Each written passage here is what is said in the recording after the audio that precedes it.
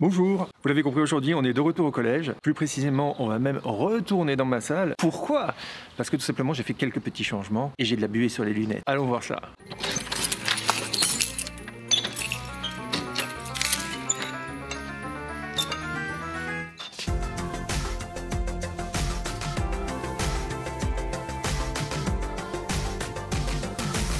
Bonjour, je m'appelle Nicolas et je suis un prof heureux. Si vous êtes nouveau sur cette chaîne, sachez qu'on y parle pédagogie, recherche en éducation et outils numériques. J'ai fait beaucoup beaucoup d'outils numériques récemment avec des tutos sur H5P et les outils de l'âge digital. Euh, aujourd'hui, on retourne dans ma classe pour parler un peu plus pédagogie et vous allez voir que j'ai fait de gros changements dans ma classe. Euh, j'ai tout réorganisé. Surtout, l'idée c'est d'aménager des euh, espaces d'apprentissage ou learning spaces au sein de la classe. Tout cela a été théorisé par David Thornburg qui a donc parlé de Learning Spaces ou dans son article Campfires in Cyberspace. Il a donc lui à l'origine imaginé donc quatre espaces d'apprentissage. Le premier c'est le feu de camp. Le deuxième, c'est le water hole, donc un point d'eau. Ensuite, il y a la grotte, the cave. Et enfin, le dernier espace, c'est euh, life, euh, donc la vie. Euh, toute cette théorie-là a influencé beaucoup de designers, beaucoup d'architectes aussi, notamment Rosanne Bosch, qui a conçu différents mobiliers de classe,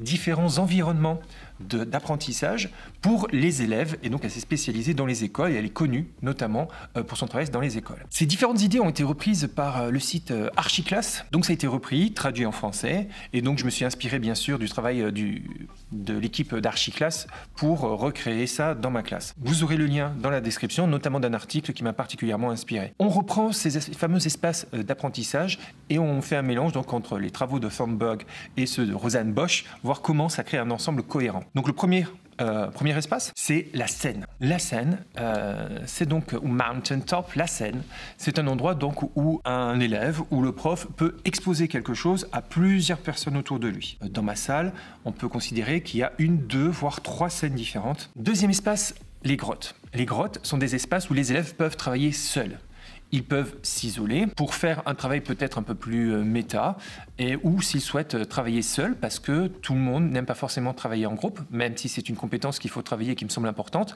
Tout le monde n'a pas envie de faire ça, en tout cas pas tout le temps. Donc c'est pour ça qu'il y a les grottes qui existent. Troisième espace, c'est l'oasis, ou le waterhole dont je vous ai déjà parlé. Donc l'oasis, c'est un espace euh, transitoire où les gens peuvent venir pour avoir une conversation, échanger des informations, et ensuite s'en aller se séparer pour repartir euh, sur leurs activités. Point suivant, qui correspond en fait à Life, hein, mais qui est donc le labo. Surtout en tant que prof d'SVT, le labo c'est quelque chose de très important. Donc le labo, l'idée c'est d'avoir des activités pratiques. C'est les fameux hands-on activities, donc ce sont des activités où on va utiliser ses mains tout simplement pour apprendre. Donc c'est un espace plutôt euh, travaux pratiques avec euh, pas forcément que des outils scientifiques, ça va être aussi euh, concevoir des choses, construire des choses. Il nous reste deux espaces à voir. Le dernier espace donc, qui a été créé en fait par Archiclass, c'est Sources. Les sources, ça va donc être un endroit, euh, des points d'information en fait. On va voir soit des encyclopédies, les bouquins d'SVT, des documents papier bien sûr. Donc c'est ce point-là qui est un travail en fait tout aussi euh, important, y compris pour un scientifique, puisqu'un scientifique, avant de commencer certains travaux, va d'abord faire le point sur la littérature scientifique et tous les travaux qui ont été faits avant lui. Le dernier point, le dernier point euh, dont je n'ai pas parlé, c'est le fameux feu de camp, donc le fire camp, où on va donc faire du travail collaboratif. On se réunit autour du même endroit pour échanger, travailler ensemble, se poser des questions, euh, échanger des points de vue, se confronter à la vie euh, d'autrui pour euh, voilà, découvrir des choses merveilleuses. Et il y a l'esprit feu de camp où en fait on se racontait des histoires et on échangeait. voilà. Donc c'est vraiment l'espace collaboratif par excellence. Alors ce que je voulais vous dire dans cette dernière partie, c'est les petits changements, les ajustements pédagogiques que j'ai fait pour, pour mener à bien ce projet. Premier changement majeur, c'est l'histoire d'un plan de travail. Un plan de travail, c'est un document qui sert de repère aux élèves pour se situer à la fois dans les activités qu'ils doivent effectuer et en même temps voir leur progrès. C'est un document double emploi qui est en fait issu de la pédagogie de Freinet. Euh, je vous mettrai un lien dans la description si vous voulez en apprendre plus sur le plan de travail. Deuxième changement, ce sont sur les activités elles-mêmes. Alors comme c'est la fin de l'année et que je ne veux pas non plus faire un burn-out avant la fin de l'année, je reprends quand même des activités de l'année dernière, j'adapte un petit peu. Ce que je dois créer du début jusqu'à la fin, ce sont les activités informatiques où j'utilise au maximum euh, le numérique pour que les élèves soient autonomes au maximum. Donc le numérique, c'est vraiment l'atelier où les élèves sont le plus autonomes. Là où ils sont le moins autonomes, c'est l'activité documentaire parce qu'ils ont besoin d'être rassurés, conseillés sur les lectures, les stratégies de lecture, etc. Et le pôle juste à côté, donc c'est le pôle euh, travaux pratiques en quelque sorte, le pôle laboratoire. Là, ils arrivent malgré tout à être euh, relativement autonomes, à savoir organiser le matériel, etc.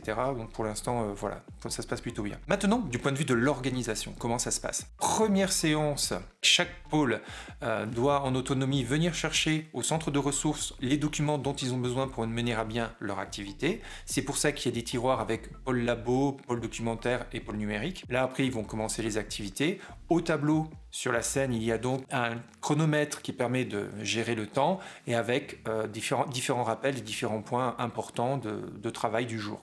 Point de vue de l'organisation de la salle, l'organisation pratique, après l'aspect pédagogique. Euh, j'ai pris la liste des élèves, et j'ai dit premier élève, pôle numérique, deuxième élève, pôle recherche, troisième élève, pôle labo, élève suivant, pôle numérique, et ainsi de suite. J'ai réparti les élèves comme ça. Ils n'ont pas choisi. C'est dans ce sens que cette classe n'est pas flexible encore. Hein. Ça viendra plus tard. À la fin, on fera différemment et peut-être qu'ils pourront choisir à quel pôle organiser leur travail. Je vais d'abord commencer par le numérique, après je ferai le documentaire, après je ferai les activités pratiques. Ce sera à eux de gérer, et sauf que les places sont limitées évidemment, donc euh, ça va demander une autre gestion. Pour le moment, j'ai tout imposé. Ce que j'ai fait aussi du point de vue de l'organisation. Euh, lorsqu'on est arrivé à la deuxième séance, j'ai mis ceux qui avaient déjà fait un pôle, je leur ai dit, vous, enfin j'ai même demandé des volontaires, est-ce qu'il y a quelqu'un qui est volontaire pour expliquer aux autres ce qu'ils vont devoir faire aujourd'hui. Ça m'évite moi de passer pôle après pôle pour euh, expliquer ce qu'ils doivent faire. Donc du coup, ben, il y a un élève qui explique à chaque, euh, pôle ce qu'il doit faire en disant ben, moi j'ai du mal à faire ça, attention à ceci, attention à cela. Il y a un élève qui a eu tendance à donner les réponses aux autres. Il dit attention, tu n'es pas là pour donner les réponses, juste pour indiquer ce qu'il faut faire. À la quatrième séance, il y a l'évaluation finale. Lors de cette évaluation finale, ils seront évalués sur leurs connaissances et après, en fonction des compétences qu'ils ont travaillées dans leur plan de travail, ils choisissent la compétence sur laquelle ils souhaitent être évalués. Pendant cette heure d'évaluation, les uns après les autres, ils viendront me voir aussi pour un entretien en tête à tête où on débriefera en s'appuyant sur le plan de travail, on débriefera sur le travail qu'ils ont effectué lors des trois séances. Alors, les avantages et les inconvénients de ce système-là. Les avantages majeurs, c'est que les élèves gagnent en autonomie de manière certaine, ils doivent organiser leur travail, se gérer, euh, faire des choix, puisque sur le plan de travail, s'ils arrivent à faire les activités obligatoires, ils peuvent passer à des activités optionnelles, qui sont des activités euh, très très variées, hein. euh, travailler sur un dossier personnel, aider des gens d'un autre îlot, poser des questions sur une boîte à questions collaborative, voilà, donc ils doivent poser des questions, ils peuvent poser des questions là-dessus, ils peuvent s'entraîner pour le futur contrôle avec un quiz, donc il y a voilà, plein de possibilités. Hein. Aussi personnellement, j'aime beaucoup voir travailler ainsi. J'ai le temps de passer de pôle en pôle, voir si tout va bien, etc. Donc du coup, ça me dégage du temps. Je suis en position d'observateur et d'accompagnateur, et donc du coup, c'est très intéressant de les voir travailler de voir comment, comment ils s'organisent. Si jamais j'ai besoin d'intervenir, j'interviens, comme d'habitude. Je vais voir la personne responsable d'un petit trouble éventuellement. J'explique une fois, deux fois. Et après, comme la salle a beaucoup d'assises, je peux isoler cette personne-là et avoir une conversation avec elle aussi. Ça a très bien marché. Cette organisation aussi me permet de donner un feedback plus précis à l'ensemble des élèves. Je m'explique. Comme je passe de pôle en pôle, je viens leur demander des nouvelles, je veux voir comment ça se passe. Autrement dit, j'adresse la parole à tous mes élèves pendant l'heure. Ce qui n'était pas forcément le cas lorsqu'ils étaient tous en train de faire la même chose. Euh, c'était parfois plus difficile à gérer, d'aller voir les élèves un à un. Là, j'ai le temps d'aller les voir précisément. Et comme ils sont beaucoup plus autonomes les uns euh, par rapport aux autres, j'ai le temps de rester au même endroit et de prendre le temps d'expliquer aux élèves qui sont bloqués. J'ai beaucoup plus de temps à leur consacrer en termes de, relations humaines et de feedback oral. Ça aussi, c'est vraiment euh, un plus. Ça me dégage du temps. Maintenant, on va reprendre les points, les aspects négatifs. Ça demande beaucoup de travail de préparation, puisqu'au lieu de préparer une séance, je dois en préparer trois, voire quatre, si je compte l'évaluation. Deuxième chose, euh, pour les élèves, il faut qu'ils s'adaptent aussi. Là, j'ai eu des périodes de transition donc ça a été compliqué de passer d'un système où il y avait même plus d'îlots finalement à ce système-là. Et donc ce qui fait que les débuteurs sont parfois chaotiques, faut le dire. Ils se posent, ils savent pas trop quoi faire, même s'il y a un de leurs camarades qui vient leur expliquer, on ne leur donne pas forcément les meilleurs renseignements. Alors au début, il y a toujours un moment où c'est un peu chaotique, et puis un, juste après, ça se pose très naturellement.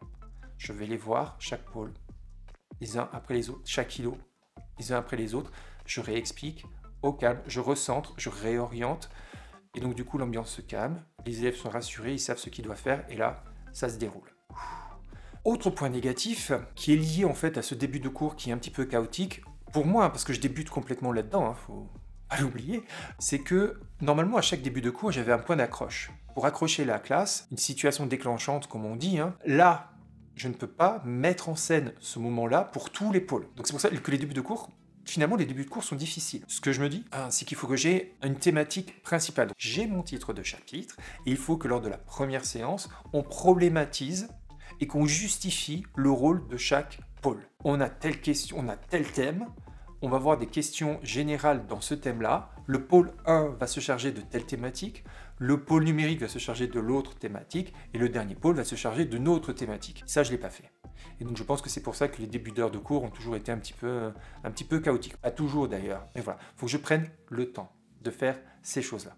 Et c'est vrai qu'en début de cours, je suis souvent stressé, je veux souvent les lancer très vite.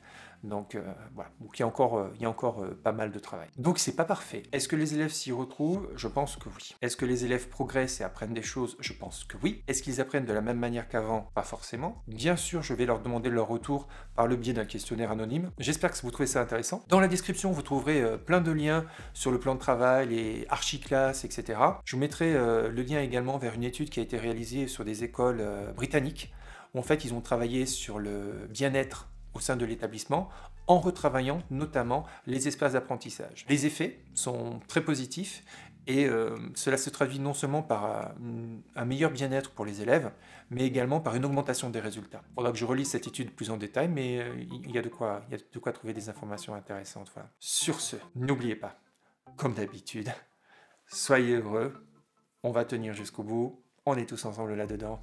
À très bientôt. Ciao.